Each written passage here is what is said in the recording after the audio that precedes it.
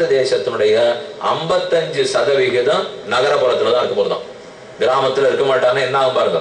முதல்ல ரெண்டாயிரத்தி இருபதுக்குள்ளே நூத்தி முப்பது கோடி போடுவோம்.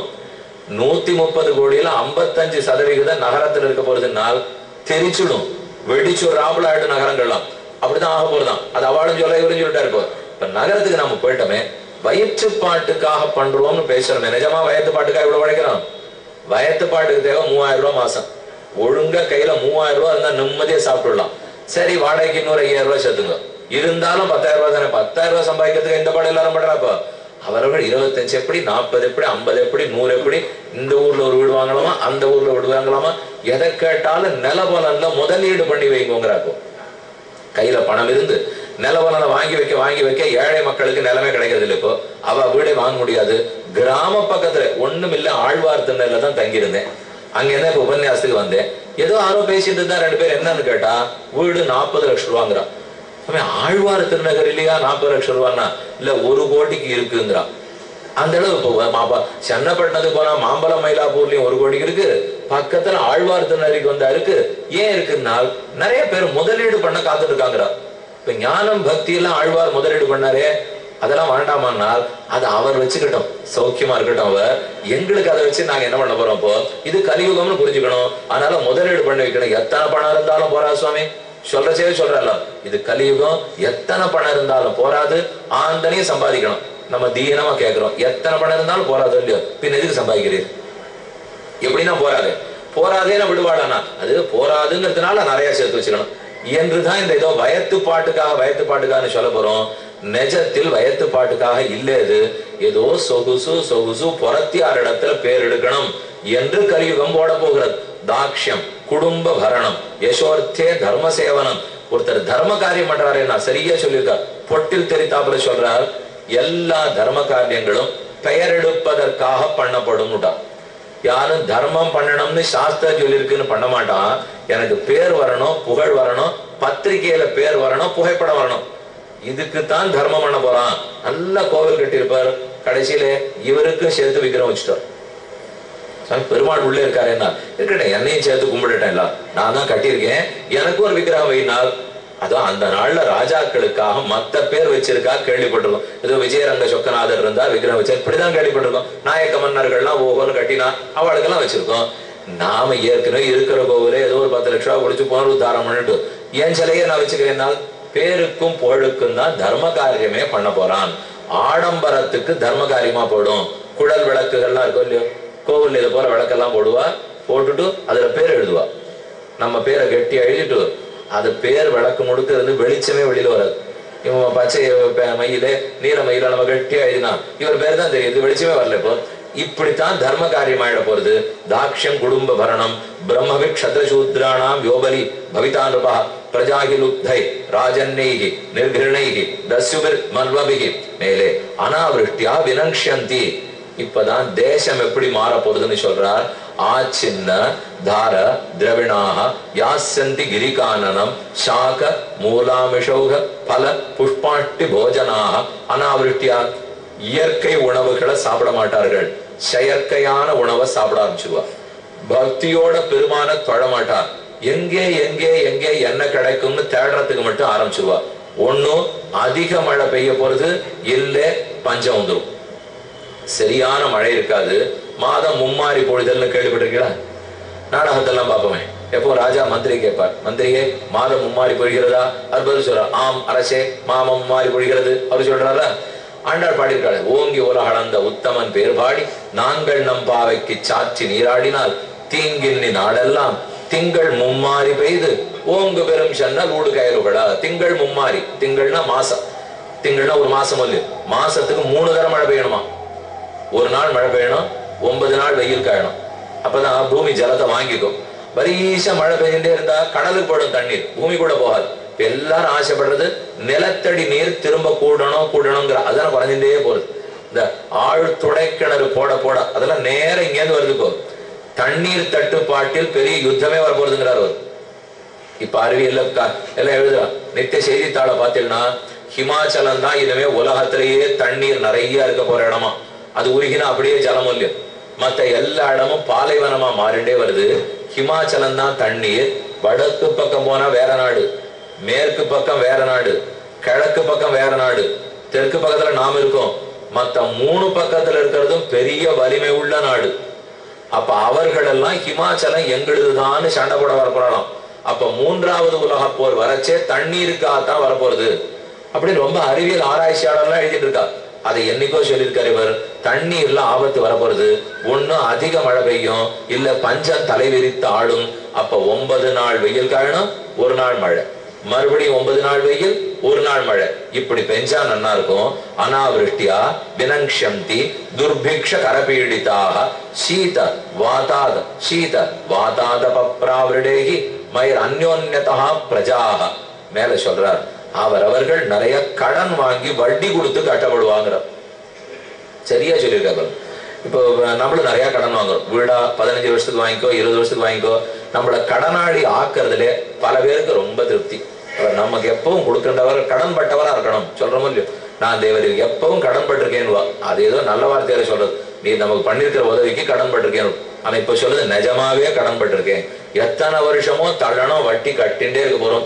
வட்டி வட்டியா கட்டின முதல் எப்பவான்னு திருப்போமான்னு தெரியல. வட்டி நிறைய வேணுங்கிறதுக்காக முதலீடு பண்ணா அசல் காணப்படுது.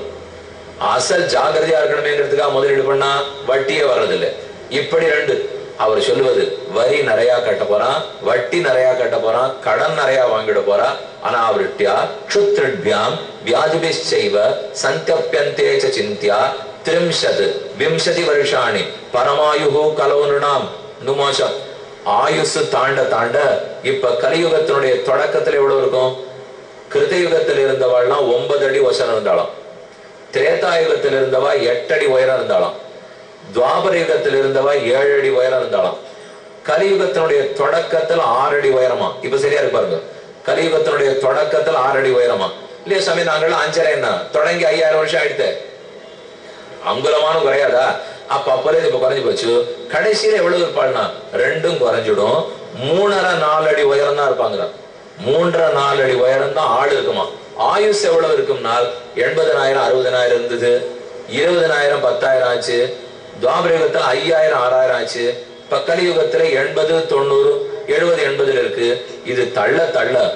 முப்பதுல இருந்து நாற்பது வயசு தான் ஆயுஸே இருக்கும்ட்டான் இன்னும் போனா கலியுகத்தினுடைய கடைசியில முப்பது நாற்பது வருஷங்கள் மட்டும்தான் இருப்பா. க்ஷீய மானேஷு தேகேஷு தேகினாம் கலிதோஷதா. வர்ணாசிரமவதாம் தர்ம நட்டே வேதபதே நிருணாம் பாகண்ட பிரச்சுதே தர்மே தஸ்யு பிராயேஷு ராஜசு. ராஜாக்கள் ராஜ்யத்தை நடத்துறதை விட நிறைய திருடர்கள் ஆயிடுவாங்கிற நாடு முன்னேற முன்னேற ராஜாக்கள் எல்லாம் ம- பகவானுக்கு பிரதிநிதி இந்த நாட்டை பெருமாள் நம்ம இடத்துல ஒப்படைச்சிருக்கார். ஜாகிரதையா மக்களுக்கு நல்லது பண்ணிட்டு பெருமாள்கிட்ட ஒப்படைச்சிடணும். இந்த எண்ணம் இருக்காது. இந்த நாட்டுக்கு நானே அதிபதினு நினைக்க ஆரம்பிச்சிருவோம். பெருமானுக்கு பிரதிநிதின்னு நினைக்கிறத விட்டுட்டு நானே நாட்டுக்கு அதிபதியும் நினைக்கிறதுக்கு ஆரம்பிச்சுடுவா. அப்படி ராஜநீதி மாறிப்பட போறது. பாகண்ட பிரஜரா சௌர்யானுத விருத ஹிம்சான விருத்திஷுவை ரிஷு பல பேரும் தங்கள் சொத்து போராதுன்னுட்டு பெரத்தியார் சொத்தை கொள்ளையடிக்க ஆரம்பிச்சிடுவார் மனிதனை மனிதனே அழிச்சு சாப்பிடுறதுக்கு ஆரம்பிச்சிடுவோம். தண்ணீருக்கு பதில் ரத்தம் தான் கிடைக்கும். இப்படி பலதும் கலியுகத்தை நடக்க போறது நிஜமாவே பரீட்சைக்கு பயந்து போட்டோம் நீர் எனக்கு என்ன பக்தி சொல்ல வந்தீரா? இல்ல இப்படிதான் பயப்படுத்த வந்தீரானால் பயப்பட்டுட்டியோ இல்லையோ? இப்ப தெரிஞ்சுக்கோ. இது இத்தனையில இருந்து தாண்டணும்னா யுகத்துக்கு தர்மம் நாம சங்கீர்த்தம் அதை விடாம செய்தியானால் இந்த ஆபத்துல நீ இருக்க வேண்டாம். கலி படுத்தும்னு சொன்னேன் தவிர ஒன்ன படுத்தும் நான் சொல்லவே இல்லை இப்போ. நீ நாமங்களை ஒழுங்கா சொல்லிட்டு இருந்தியானால் இதுக்குள்ள போக வேண்டாமே. இப்ப எத்தனையோ சிறைச்சாலை இருக்கு எத்தனையோ கொடுமை இருக்கு அவாவா தீவிரவாதம் இருக்கு என்னென்னமோ இருக்கு.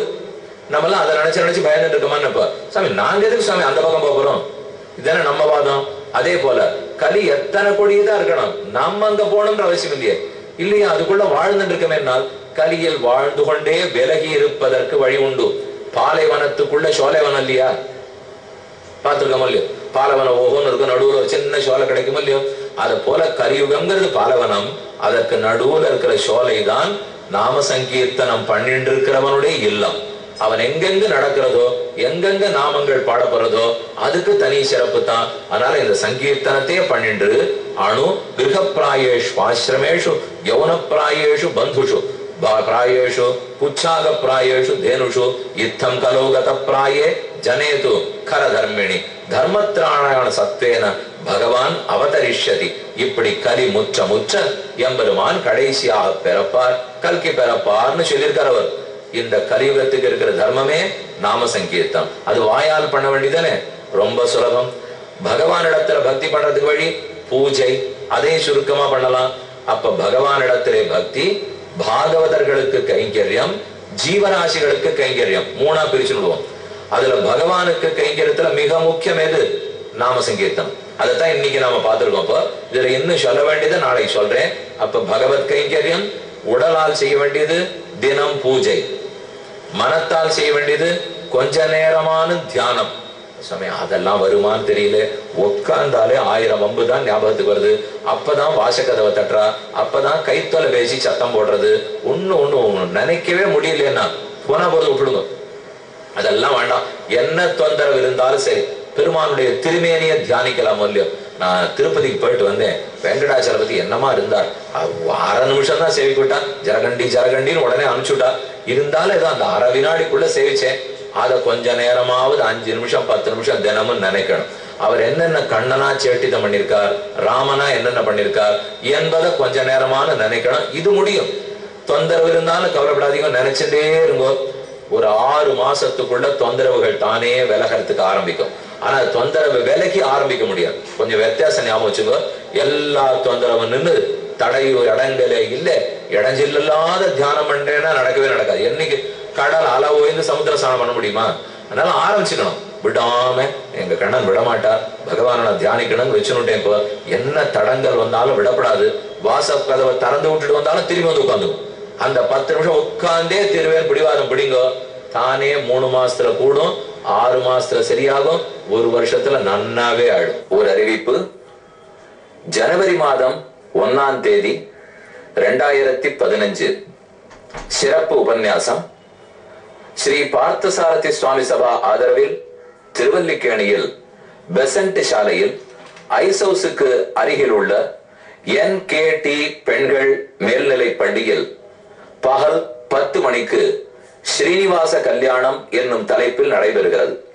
அன்று வைகுண்ட ஏகாதசி ஸ்ரீனிவாசர் அருளையும் அருகே பார்த்தசாரதி பெருமான சேவித்தவர் அருளையும் பெற அனைவரும் திரளாக வர வேண்டுகிறேன்.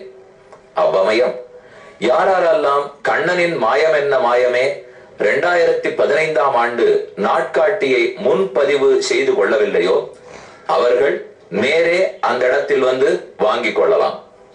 சனாதன தர்மம் சிடிக்கள் சிறப்பு வெளியீடு விதுர நீதி சனாதன தர்மம் மகாபாரதம் பாகவத புராணம் விஷ்ணு புராணம் பதினாறும் பெற்று வாழ்க. பதினேழு சிடிக்கள் கொண்ட இத்தொகுப்பு முன்னூத்தி அறுபத்தைந்து மணி நேர உபன்யாசம் சலுகை விலையில் அங்கே கொடுக்கப்படும். அங்கு வந்து அனைவரும் வாங்கிக் கொள்ள வேண்டுகிறேன். ஸ்ரீனிவாச கல்யாணம் ஜனவரி ஒன்னு ரெண்டாயிரத்தி பதினைந்து பகல் பத்து மணி.